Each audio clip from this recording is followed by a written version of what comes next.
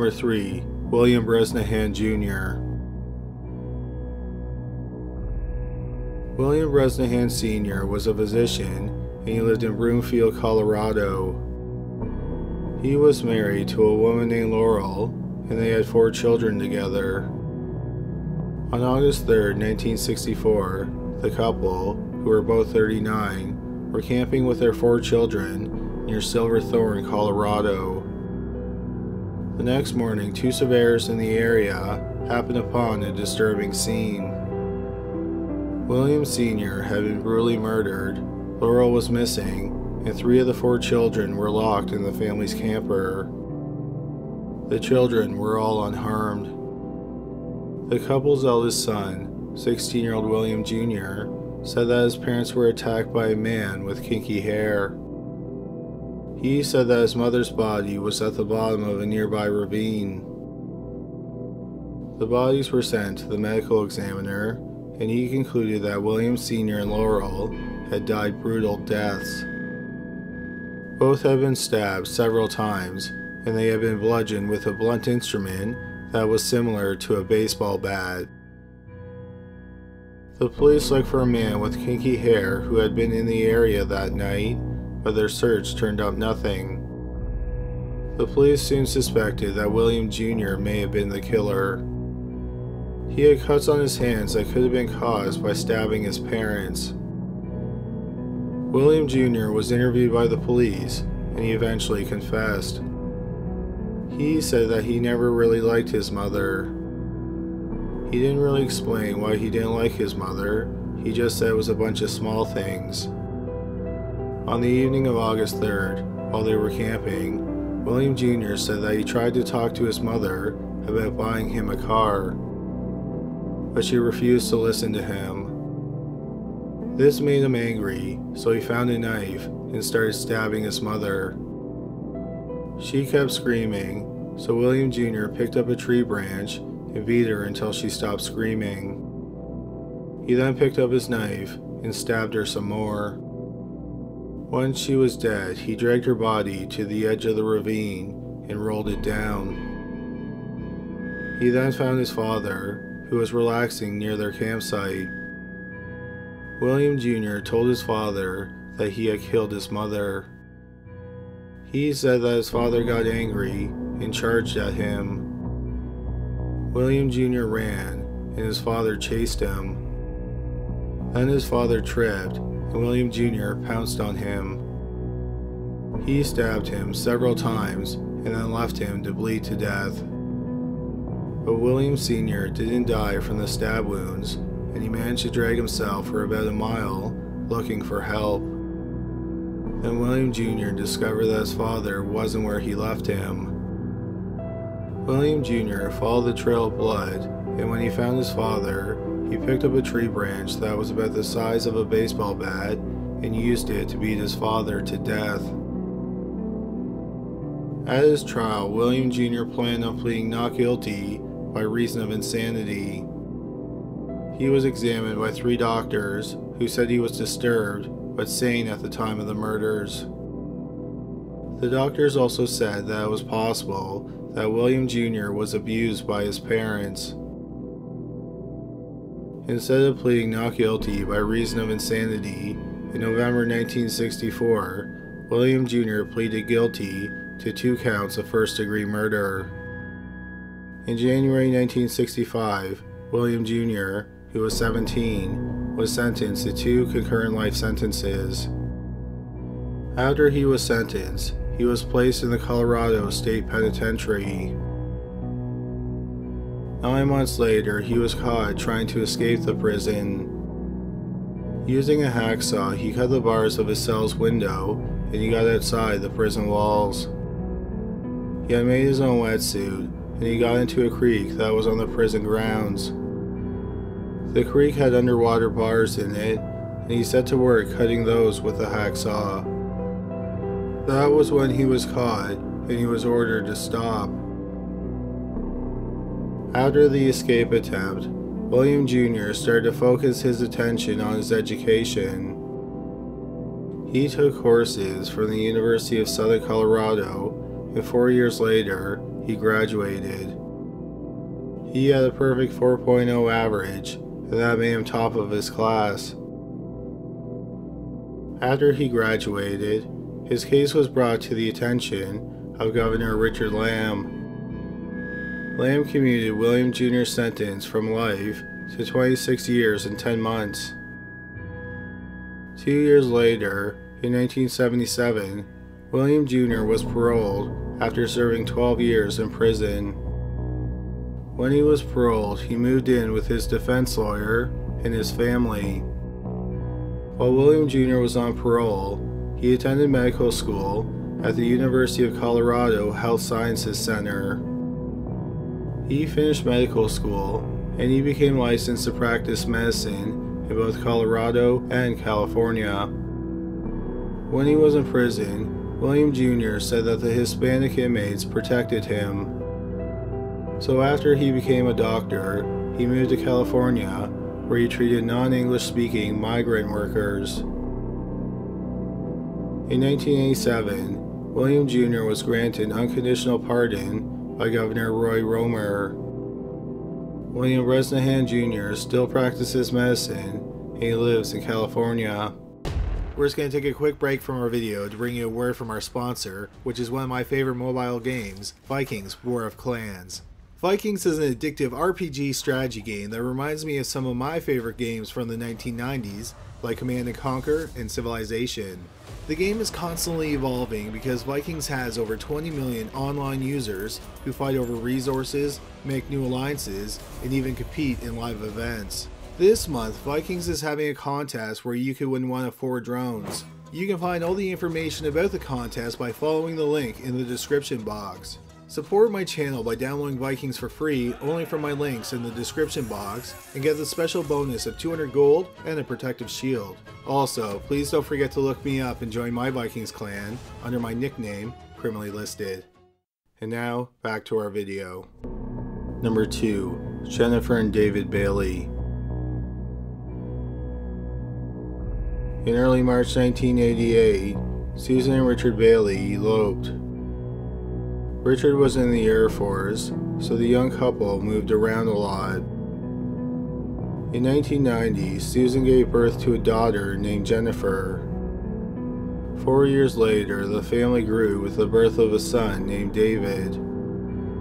The Bailey family eventually ended up settling in Roanoke, Texas. Over a decade after David was born, Susan and Richard got divorced, and Susan was given custody of the children. When Jennifer and David were in their teens, Susan struggled to financially support the family. She had several part time jobs, and this kept her away from home quite a bit. When Jennifer was a teen and David was a preteen, they began to show behavioral problems. Jennifer was known to steal from people, while David rarely did his homework, he got into fights at school, and he was known to cut himself. When Jennifer was 17 years old, she started to date 16 year old Paul Henson, who attended the same high school as her. Paul was known around school for his odd behavior. He had violent mood swings, and he told people that he had split personality Susan did not like her daughter's boyfriend. She thought Paul was weird, and Jennifer's grades began to slip after they started dating. Shortly after they started dating, Paul befriended a 14 year old girl who attended their high school. The 14 year old girl wasn't identified in the media, but in Donna Fielder's book about the case, she calls the girl Mary Lee. So, for the sake of simplicity, She'll be referred to as Mary Lee for the rest of this video. Paul explained to both Jennifer and Mary Lee they had two different personalities. He then explained that one personality was in love with Jennifer and the other was in love with Mary Lee. Both Mary Lee and Jennifer accepted this, and Paul started dating both girls. Shortly afterward, he got Jennifer and Mary Lee to hang out together, and eventually, they all started a three way sexual relationship. Just like Susan Bailey, Mary Lee's mother did not like Paul, and she did not approve of Mary Lee hanging out with him. In the summer of 2008, tension in the Bailey household had escalated. Susan and Jennifer were constantly fighting about Paul. Eventually, Susan banned Jennifer from seeing him. In the spring, Jennifer had graduated from high school and she was set to start art school in Dallas in October. Jennifer wanted to move into an apartment in Dallas, but Susan couldn't afford to pay for an apartment for her. Instead, Susan planned to buy a newer car and then she would let Jennifer use her old car. Jennifer hated that idea. She didn't want the old car, and she thought she was entitled to drive the newer car. But then it turned out that Susan couldn't afford a second car. So Susan suggested that Jennifer should take the train to school every day. Jennifer hated this idea as well. Around the same time that the mother and daughter were arguing about transportation, David was acting out more than usual. One day while Susan was at work, she received a call from the police. Her neighbors had called the police because David, who was 14 years old, had been running around the backyard naked. In September 2008, unbeknownst to Susan, Paul and Mary Lee were spending most of their time at her home with Jennifer. When Susan was at work, which was a lot of the time, Paul and Mary Lee hung out in the open. When Susan was home, they either hid somewhere in the house or hid in the park across the road. Little did Susan know, but the teens were hatching a plan. On September 23, 2008, Mary Lee's mother woke to find her daughter standing over her. Mary Lee was holding a large butcher knife. Her mother backed away from her quickly and she grabbed a phone. She called 911 and yelled at Mary Lee to drop the knife. Mary Lee cried and demanded her mother's cell phone and the keys to her car. The police arrived minutes later and they took Mary Lee to a juvenile detention center. The next day, Paul's dad reported him as a runaway. He also said that Paul had stolen his 22 caliber Ruger pistol. Paul had made threats against his high school, and the police were worried that he was going to shoot up the school. The morning after Paul was reported missing, the police went to the Bailey's house and found evidence that Paul had been there, but Paul wasn't in the home, so the police left. At the time, that wasn't the only problem the Baileys were dealing with. The day before, David had been suspended from school for bringing a knife to school. Not long after the police searched her home for Paul, Susan went to work her shift at a dress shop, and then she went to her second job at Bed Bath & Beyond. She returned home around midnight, exhausted. She walked upstairs, and she was ambushed.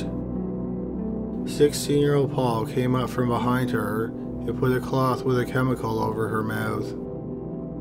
Susan then saw her two children, who were wearing handkerchiefs over the lower parts of their faces, move towards her.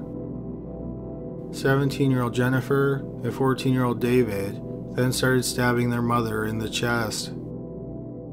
Then, from behind, Paul slit Susan's throat twice. Susan fell to the floor and someone started stabbing her in the back of the head to make sure she was dead. Then Jennifer, David, and Paul got into Susan's car and started driving. Three days later, the trio were arrested in Yankton, South Dakota. The city has a curfew for youths, and the teens were found at a closed gas station at around 3:30 a.m. The officer who found them talked to Jennifer, and she kept changing her story. The officer had a bad feeling about the trio, so he got in contact with the police in Roanoke. Two days earlier, Susan's mother had called the Roanoke police because she couldn't get a hold of her daughter or her grandchildren. Officers went to the Bailey's house and they found 43 year old Susan's dead body lying face down at the top of the stairs.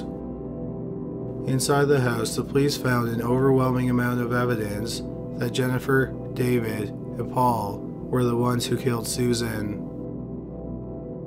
The original plan was that Mary Lee, Paul, and Jennifer were all going to kill their parents and then run away to Canada. Jennifer told David about the plan and he was excited by it. David said it was just like in the movies. Before the murder, David rode his bike to a local store and he bought a cleaning solution that the kids used to try and clean up the crime scene. But they did a terrible job of cleaning up. Notably, Paul cut his hair and he left the hair in the bathroom. Jennifer and David left behind the handkerchiefs that they wore during the murder, and the police were able to get their DNA off the handkerchiefs. The police found weapons hidden in other rooms and chocolate pudding in the refrigerator that had been poisoned. The police realized that the kids had set up multiple rooms so that they could have killed Susan in any room she might have walked into. An autopsy revealed that Susan had 26 wounds. The medical examiner said that it looked like she had been stabbed by three different people. After the teens were arrested in South Dakota, officers from Roanoke were sent to pick them up. Jennifer was put into one car, and Paul and David were put into another. During a pit stop, the boys were left alone in the car, and little did they know, but they were being recorded. David talked and laughed about how his mother urinated when they killed her. Then Paul mocked Susan, saying she looked like an ape. The police asked Jennifer about her relationship with her mother, and she said that they didn't see eye to eye. In December 2008, Jennifer and Paul were indicted for capital murder, and David was labeled a young offender which in Texas is called a child in need of supervision. Since they were under 18 when they committed the murder, none of them were eligible for the death penalty. But Jennifer and Paul could have been sentenced to life in prison without the chance of parole, and David could have been sentenced to up to 40 years in prison. Mary Lee agreed to a plea deal, and she pleaded guilty to aggravated assault. She was sentenced to five years probation. In June 2009, Paul took a plea deal and he was sentenced to 60 years in prison. He'll be able to apply for parole in September 2038 at the age of 57. He confessed to taking part in Susan's murder. He said that he, Jennifer, and David swarmed Susan once she got to the top of the stairs.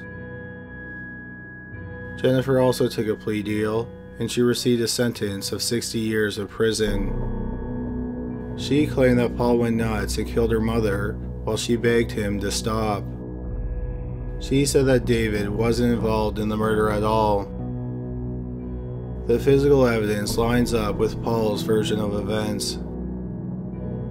Finally, David also took a plea deal, and he was given a 26 year sentence he'll be able to apply for parole in 2021. Number 1. Sean Sellers. Sean Sellers was born in May 1968 in California. His mother, Vonda, was just 16 years old when she gave birth to him.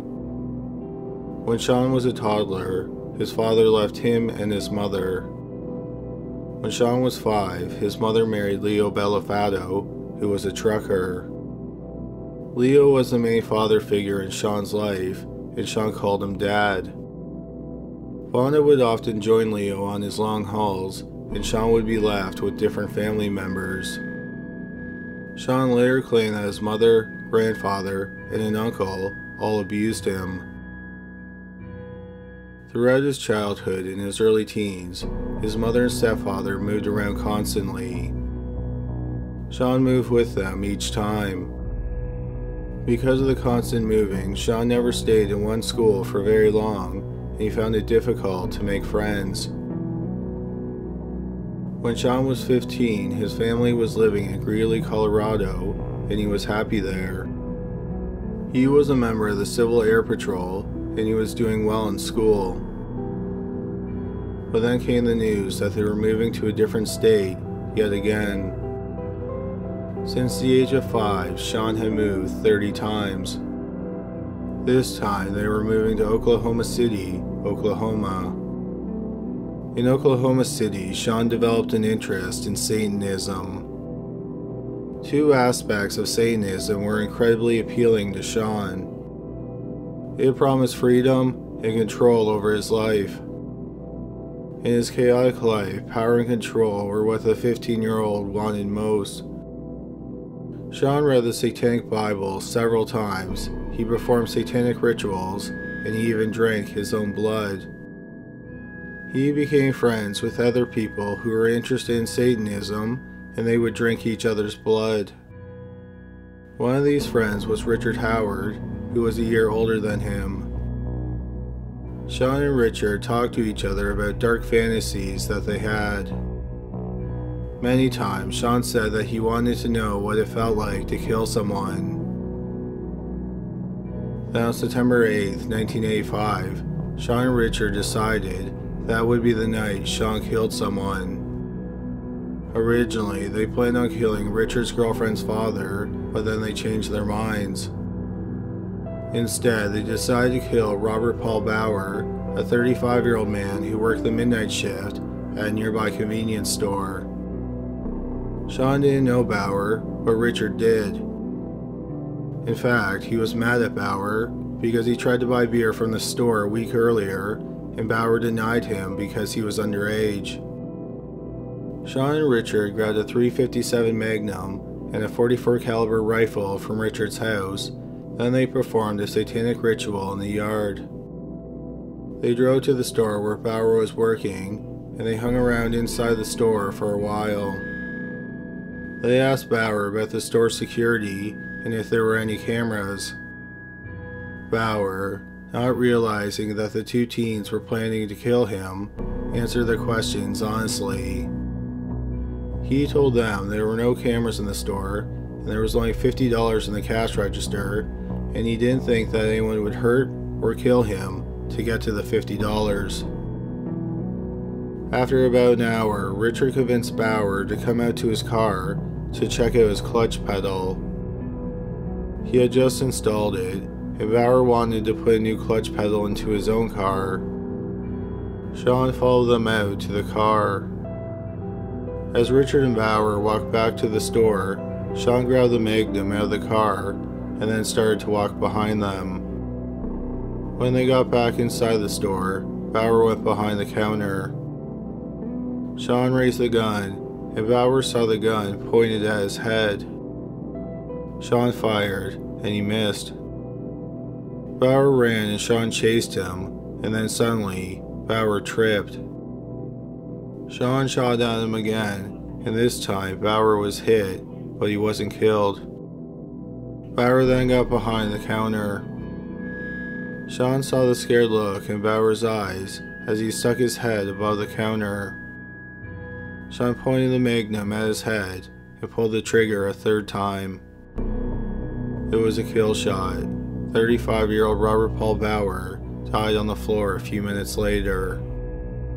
The two teenage boys got into Richard's car and they drove away. As they drove to Richard's house, they laughed because they felt giddy. Once they got back to Richard's house, they put the guns back where they found them. Six months later, the investigation into Bauer's murder remained cold. Sean didn't keep it a secret that he was the killer.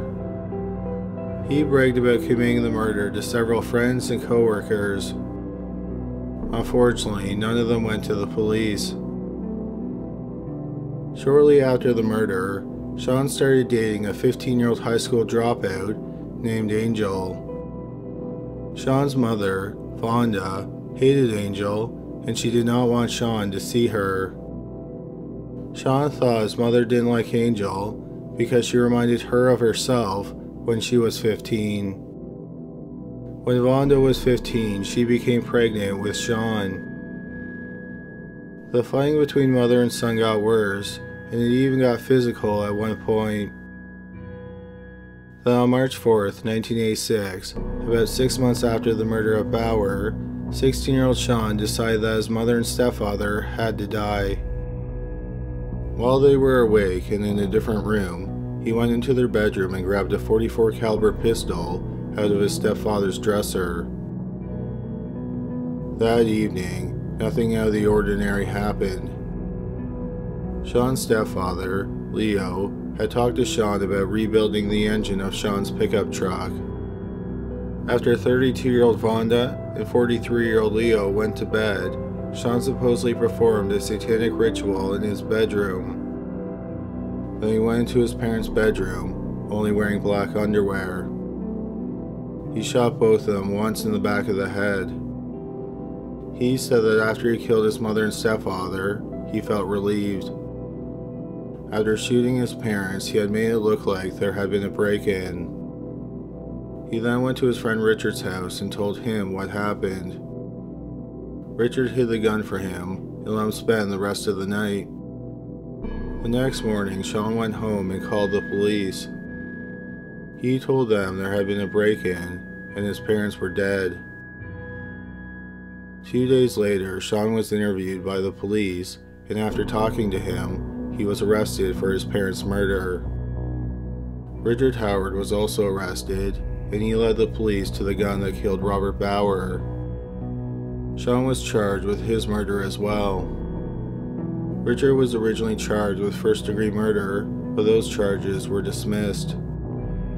He agreed to testify against Sean in exchange for five years deferred for his roles in the murders. In September 1986, Sean went to trial for the three murders. Sean's lawyer argued that he was not guilty because he had been brainwashed by Satanism and the occult, and he was addicted to Dungeons and Dragons and couldn't tell the difference between real life and make believe. Sean didn't testify, but his lawyer said that he had no recollection of the murders. Sean was ultimately convicted of all three murders. Sean was 16 years old when he committed the murders, and he was 17 when he was convicted. Despite being a juvenile, Sean was sentenced to death. After Sean was sentenced to death, he did interviews with People magazine and Oprah Winfrey, and in the interviews, he said he remembered the murders. He said that when he killed Bauer, his mother and stepfather, he wasn't himself. He said he was possessed by a demon named Ezeret, and Ezeret was responsible for the murders. After a few years on death row, Sean started a website that had journal entries about his day to day life on death row. He also posted a complete confession of his crimes. While he was on death row, Sean became a Christian. He also appealed his death sentence, saying he wasn't responsible for the murders because he suffered from multiple personality disorder.